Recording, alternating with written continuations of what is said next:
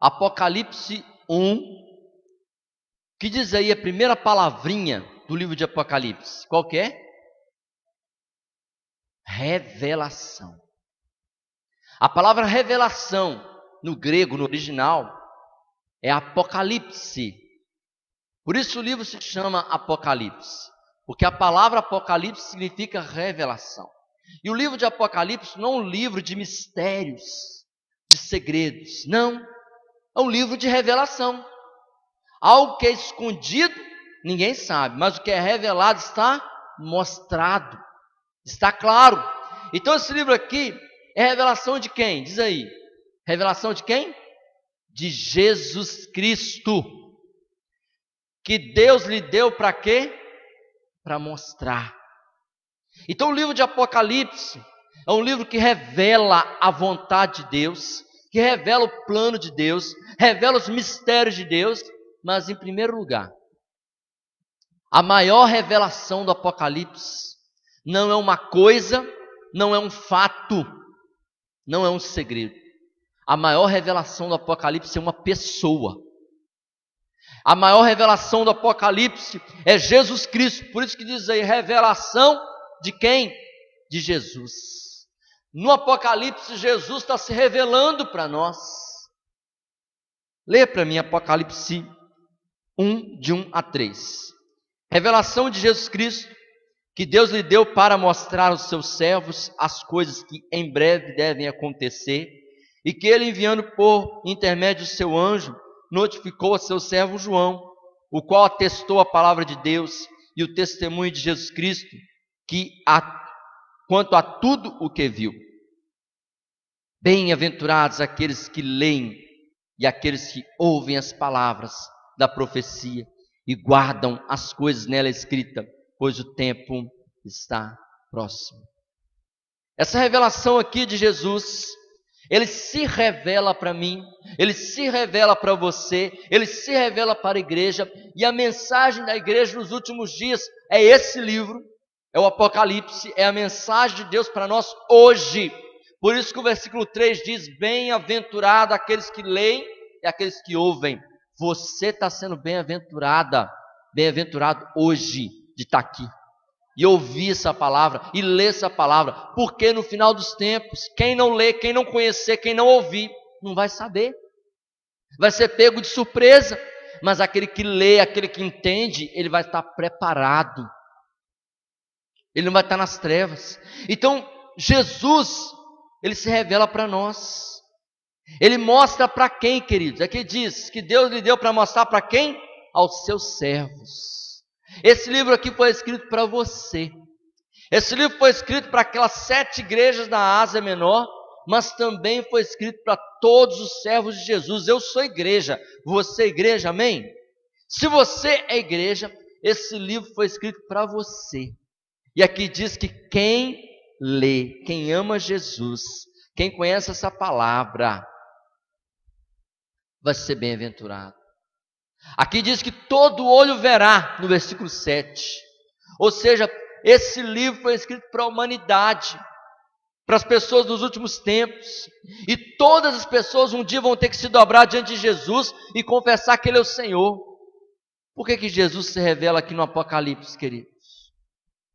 Porque quando ele veio à terra a primeira vez, ele veio numa manjedoura, nasceu na barriga de uma virgem, ficou ali na manjedoura, no estábulo, foi criado na carpintaria, sentiu frio, sentiu fome, sentiu calor, sentiu tudo, foi pregado numa cruz, morreu, foi sepultado, mas ressuscitou.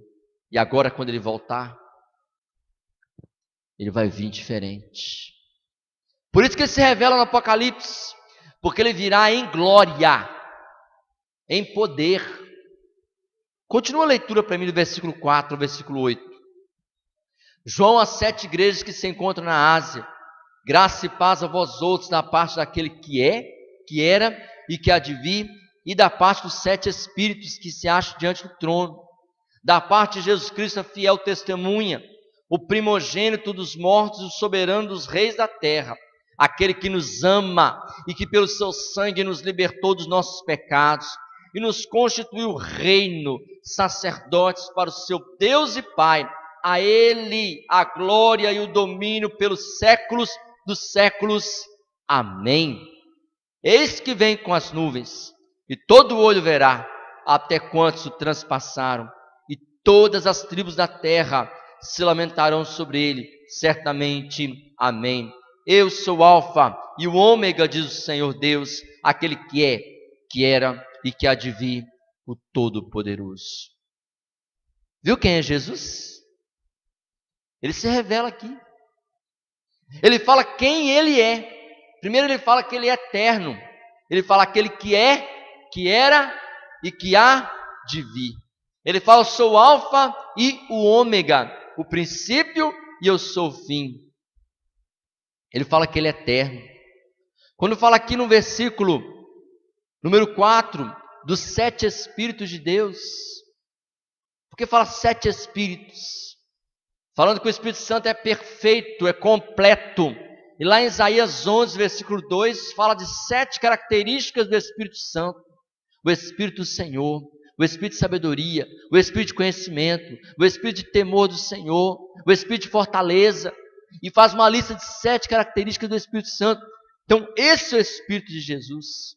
Quando fala aqui que ele é a fiel testemunha, no versículo 5, que tudo que ele fala é verdadeiro. Quando fala aqui também no versículo 5, que ele é o primogênito de entre os mortos. Por que, que Jesus é o primogênito de entre os mortos? Porque Lázaro ressuscitou, mas ele morreu depois. A filha de Jairo ressuscitou, mas morreu depois. O filho da viúva de Naim ressuscitou, mas morreu depois. E Jesus ressuscitou, e ele vai morrer de novo? Não, jamais morrerá. Por isso ele é o primogênito de entre os mortos. Porque um dia nós também vamos ressuscitar e nunca mais vamos morrer novamente mas teve um que morreu primeiro e ressuscitou primeiro e jamais morrerá novamente, que é quem? Jesus, ele é o primogênito de entre os mortos. Aqui diz que ele é o soberano dos reis da terra. Ele vem, queridos, como rei. Eu falei para vocês que ele virá como rei. Ele veio humilde, andou no jumentinho, mas quando ele voltar, ele virá como rei soberano. Aqui diz que ele é o todo-poderoso no versículo 8. Jesus ele fala aquilo que foi profetizado por Isaías: Eu sou Deus forte, o Todo-Poderoso. E a Bíblia diz em Marcos 13, 26: Então se verá o Filho do Homem vindo sobre as nuvens com poder e glória. Ou seja, ele virá com poder e glória, ele é Todo-Poderoso. Então, irmãos, você entende que aqui ele está se revelando. Ele está mostrando que Ele é o Deus verdadeiro, que Ele é poderoso, que as pessoas estão pensando que vai vir um Jesus pregado numa cruz. Não é esse que vai vir, não. Ele morreu na cruz, sim, mas Ele ressuscitou e está vivo, Ele virá em glória. Esse é o Jesus que virá. E aqui também diz, no versículo 5, que Ele é aquele que nos ama e pelo seu sangue nos libertou dos nossos pecados. Esse é Jesus.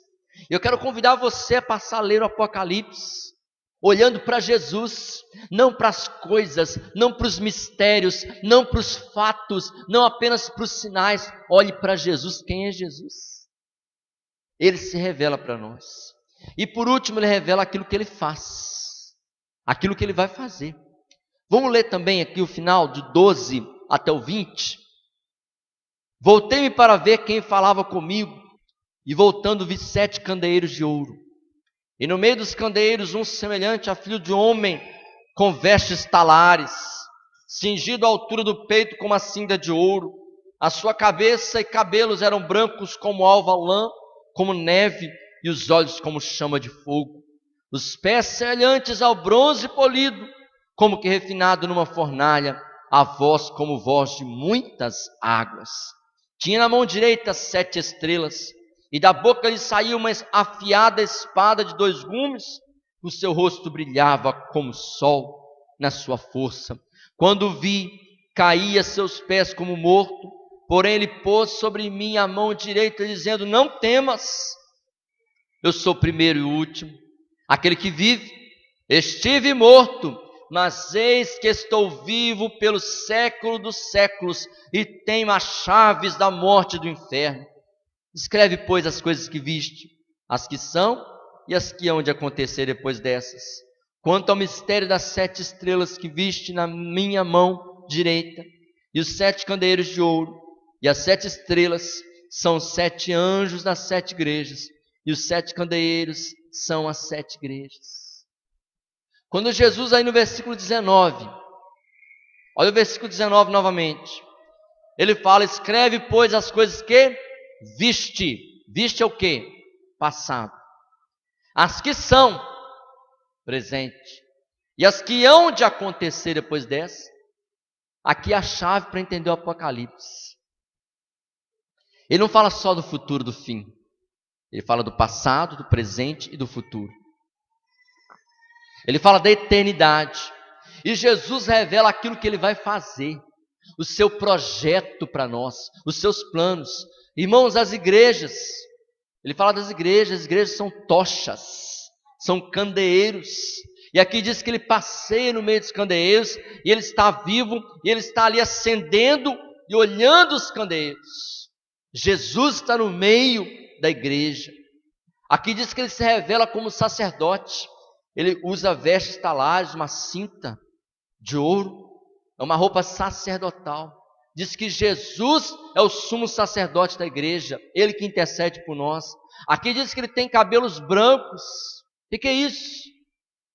É idade? Não, é sabedoria. Ou seja, ele sabe tudo. Aqui diz que os olhos dele são como fogo. O que é um olho de, olho de fogo? É um olho de juiz, de juízo. Ou seja, ele vê tudo e ele julgará.